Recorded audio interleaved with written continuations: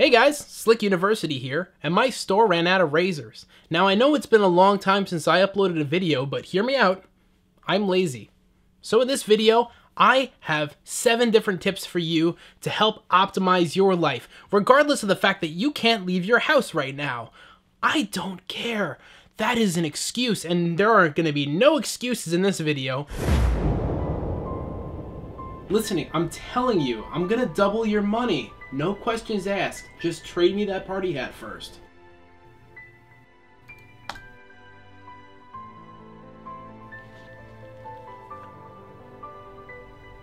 Oh,